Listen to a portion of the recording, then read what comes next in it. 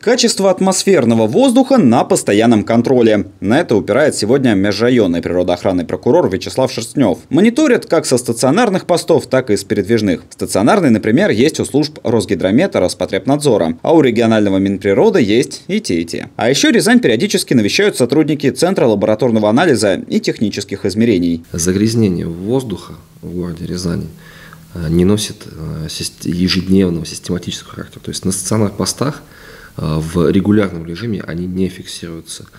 Да, бывают разовые выбросы, они вызваны скорее всего, технологическими процессами на предприятиях. Выбросы сероводорода, изредка формальдегида и фенола фиксировали в Турлатово, Дашково песочне, строителях и Недостоево. Сейчас природоохранная прокуратура вместе с контролирующими органами очерчивает круг предприятий, которые эти выбросы могли производить. В текущем году по требованию Волжской межрегиональной природоохранной прокуратуры, например, в Московском районе проведена проверка Минприроды компании «Софьян».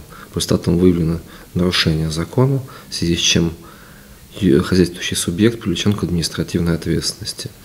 А Софьян находится на территории одной из промышленной площадки вместе с заводом «Русская кожа», в отношении которого на этой неделе завершена проверка Росприроднадзором. Также выявлено нарушение, в том числе законодательства об охране атмосферного воздуха. Вячеслав Шерстнев добавил, что предприятия могут обжаловать все в административном порядке. А тем временем контролирующие органы продолжают проверки. Например, Росприроднадзор уже закончил одну из них в компании «Экостройцентр», что рядом с селом Редькино. Прокуратура до настоящего времени проводится проверка крупного завода. Это завод ООО «Техно», входящий в компанию, э, группу компанию «Николь».